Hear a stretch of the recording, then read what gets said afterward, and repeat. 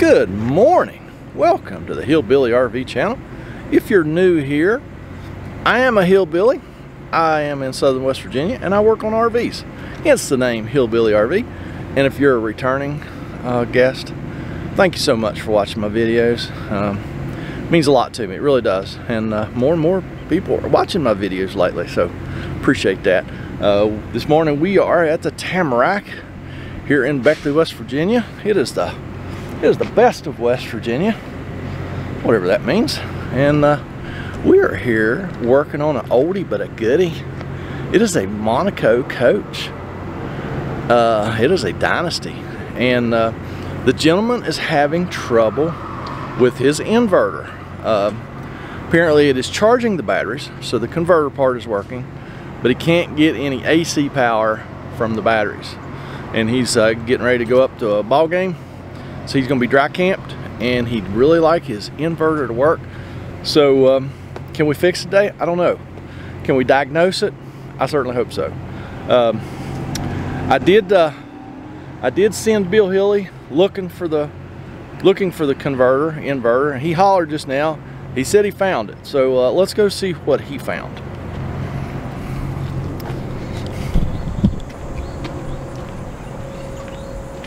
Hey, Bill Hilly, where you at, man? I'm right here, man. Right here, right here, right here. Well, how'd you get in there, man? I just shut the door. All right, well, looks like he did find the converter. It is a Xantrex, and it's a biggie.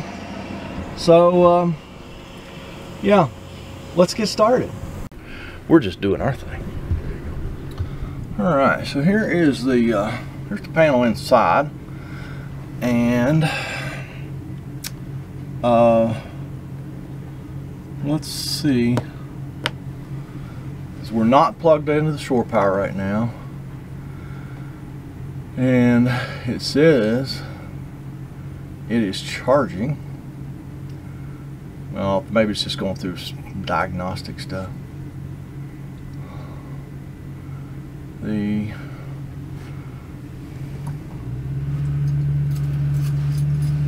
so it says we got 12 and a half volts in the batteries incoming AC says it's 5 amps and then the lights go out. So that's probably not a good sign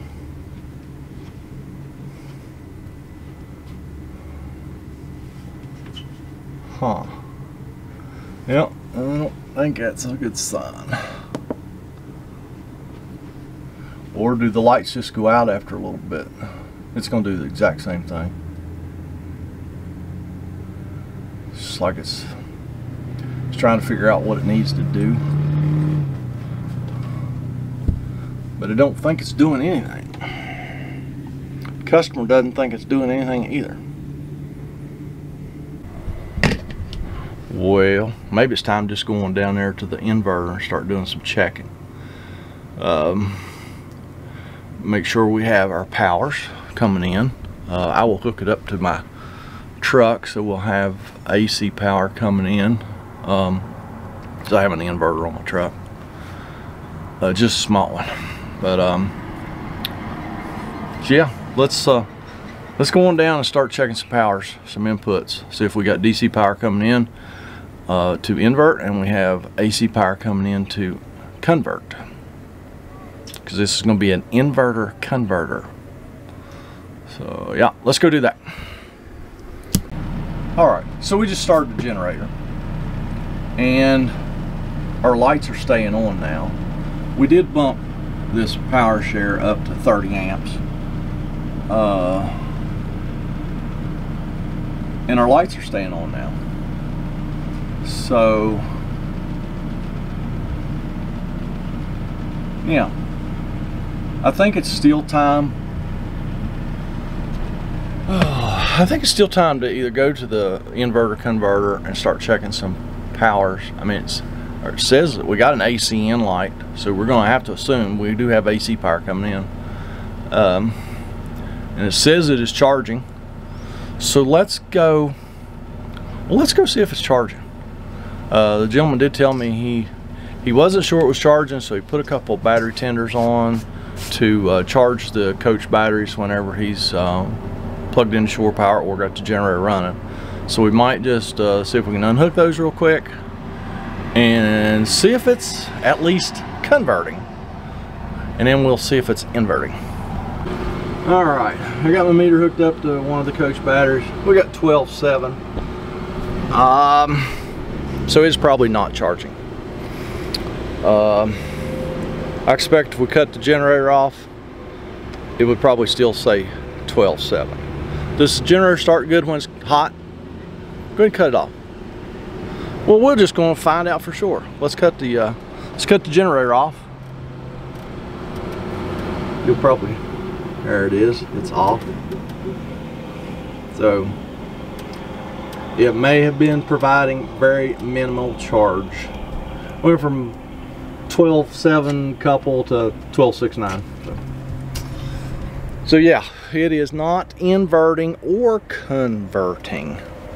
So let's uh, let's go over to the converter and uh, probably have to pull a couple of panels off to access inputs. Let's make sure we got our inputs.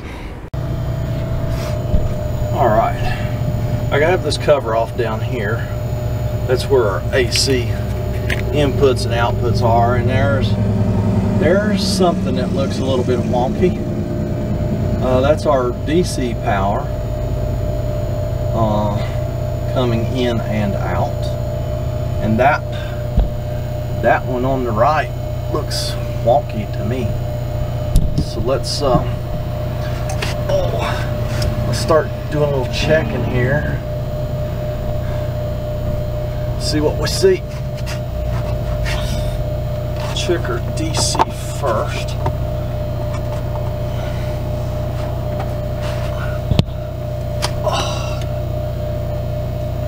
First glance, this looks like a pretty good place to work, but it's not as good as it looks.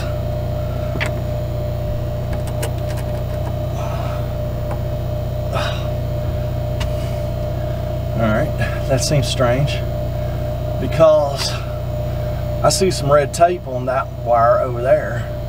So I automatically assumed that was going to be our hot one. Oh, well, let me hook my leads up right. Dummy.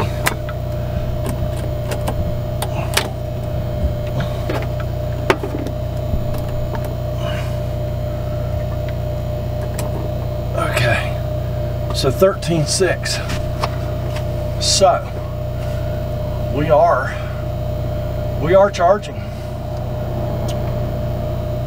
So it's not making it back to the batteries though so I believe this is just a terminal block. So we're gonna have a breaker somewhere probably around those batteries. So let's go uh, let's go on the hunt for that.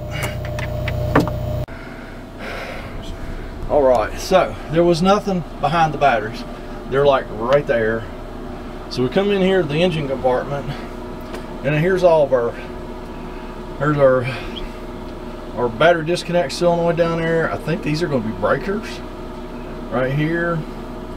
Bunch of relays, another solenoid over here. So let's uh, start doing some checking. Now I'm just going to have to set y'all up over here and uh, I'll try and show you what's going on.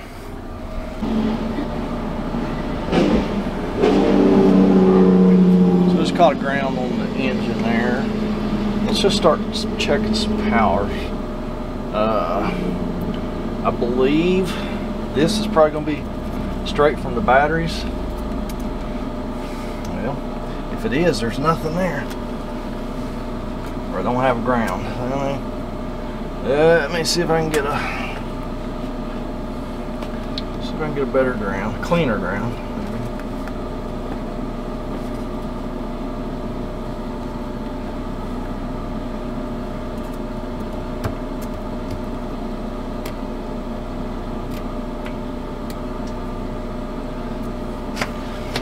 What this blue thing is is a battery isolator.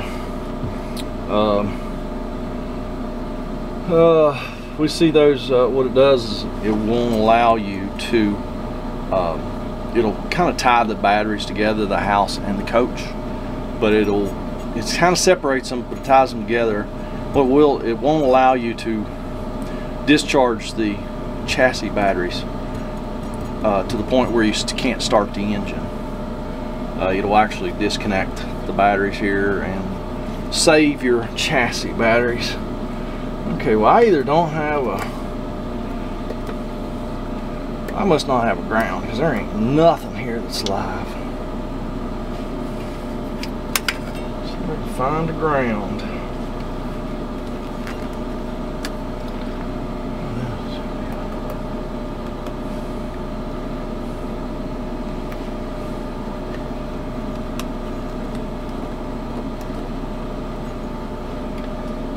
There we go. I didn't have ground. So let's go back down here to the solenoid. I think, I think this is the the battery's coming in 13.5. So we got power there. The other side of this solenoid, we got Zilcho. Okay. I'm going to ask the customer to go up front and uh, push that battery disconnect switch, turn it on and off two or three times. And we're going to listen and see if we hear this thing click which I expect we're not. Okay it did. Alright it's down here. Okay hang on a minute. Turn it turn it on. Here's our battery disconnect someone. I could hear it and I could feel it. So we got 13.4 on one side 13.4 on the other side. So that is working. Okay. So what is this solenoid back here, I wonder? Because it is not, it is not working. So, I think these are breakers. They're good. We've got a whole row of breakers here. Uh, I don't expect any of those are uh, are an issue. It's possible. They look they look rough, but I think our issue is this solenoid here. 13.4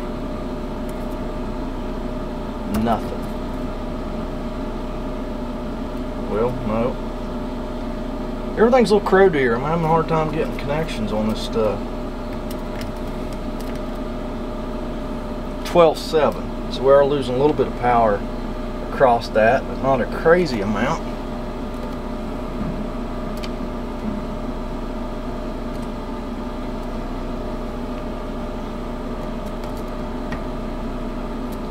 Twelve seven. Okay, so now we have to try to figure out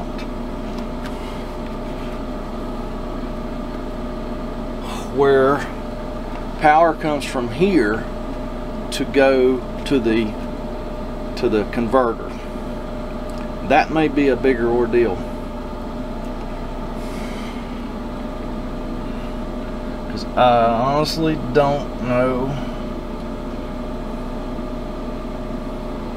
where that power is going to come from.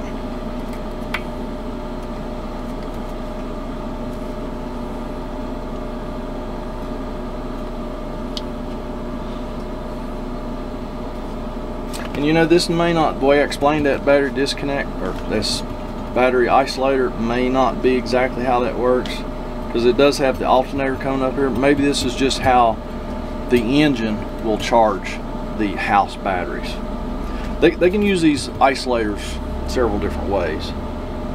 Um, yeah, maybe they're just using this to charge the house batteries from the engine when the engine is running.